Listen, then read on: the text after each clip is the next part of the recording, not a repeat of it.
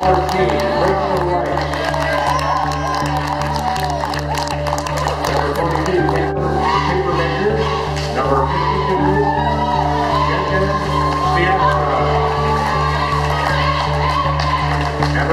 Number 22,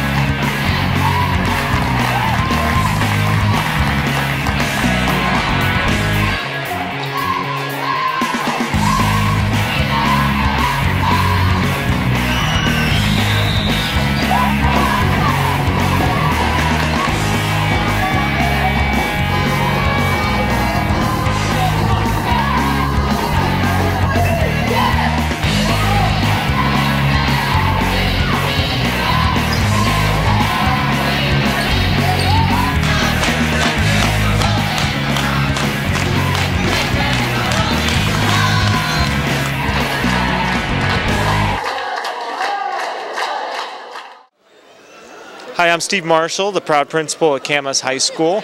I'm here uh, at Bellevue Community College with Athletic Director Terry Cavender, and we are supporting um, the Camas Papermaker girls basketball team that's making history. For the first time in 34 years, they're playing in the postseason state competition. I think the reason why the Papermakers are so tough is these girls, they hustle and they play team basketball. Um, they swarm on defense, and then on offense, they've got Jenka in the middle, but then they can also go outside to three-point players or three-point shooters like Brenna and uh, Pruninger, Kendra Pruninger, and that makes them so dangerous and hard to defend. And then also, you have Sydney Allen who can take an inside or outside. They're just a really versatile team, also well coached by Chuck Knight and his assistants, and uh, they're just fun to watch. Go Papermakers!